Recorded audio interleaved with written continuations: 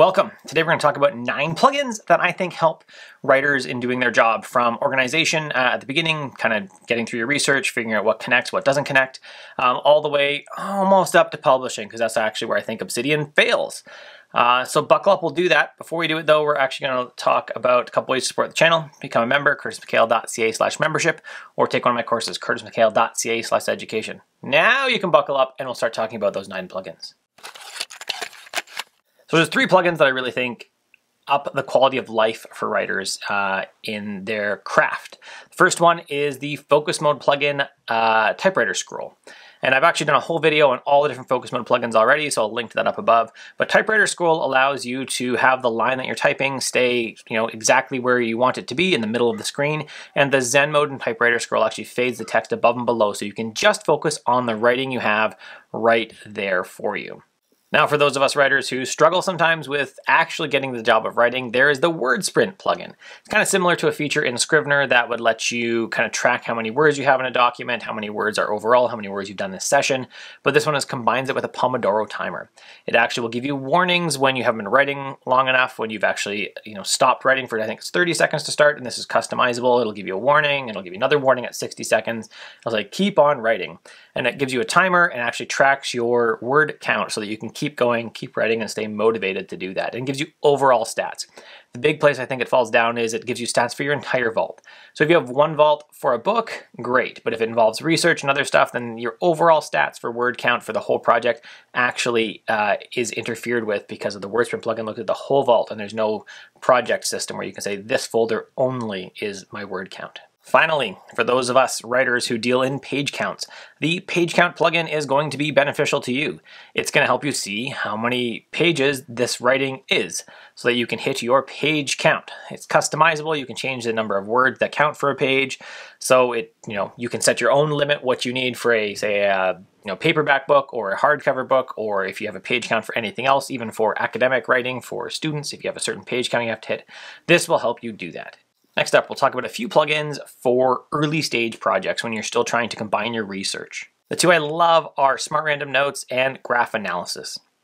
So I use Smart Random Notes to generate random notes in a smart way. I can exclude certain folders, I can include certain folders, I can get it to look not at things that have tag note in it, I can just get it to do what I want. And then when I have that actually programmed to a workspace along with the search, I can hit the random note plugin uh, and it'll just randomly bring up a note that matches the search criteria uh, that I provided for it. So that helps me make more connections as I'm doing research. And this way you could even have a workspace that's limited to a specific project, a specific search criteria, and then you could only be looking at notes that really hit your specific project. If you want to know more about workspaces specifically and how I've actually saved them, how I use them, there'll be a video linked up above and below for you to look at because I did a whole video just on workspaces.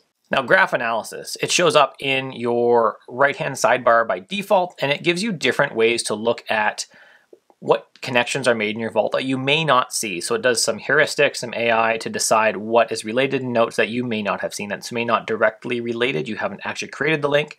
It's not, un, it's not an unlinked mention. It's not something that is the same words. It's actually just doing like a little bit broader search to say what relates here and what could you see, could you actually bring into your research that you didn't know about later.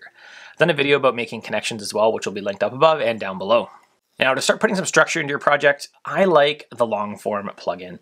If you're just kind of collecting ideas, your own thoughts, you're taking you know other people's thoughts, other research you've done and starting to write your own thoughts into it, the long form plugin can help you really bring that into your own structure. Kind of again, kind of reminds me of Scrivener in this way where I can just start creating different things and you can even do some com compilation there, compiling it into drafts as you go forward. Though I don't think long form is ready for producing your book yet.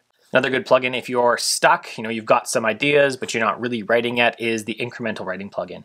You can use this plugin to set separate queues so that you can look at your queue for a specific project and just say, bring up the next available note in that, the next one I need to work on, write on, it'll just bring up a note for you.